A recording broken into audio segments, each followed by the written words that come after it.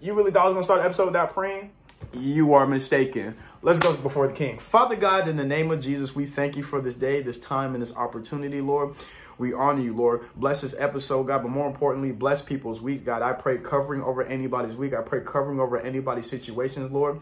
I pray that you continue to reveal yourself to them, God. And I pray that you know that you have them secure, God, that they are locked in with you, God, that they that they are set free from the things, set free from old ways, set free from uh, bad mindsets and things that are trapping them and uh, trying to hold them back, Lord. So I speak freedom in atmosphere. I speak freedom for somebody in their situation. I feel God already. In Jesus' mighty master's name, we pray. Amen.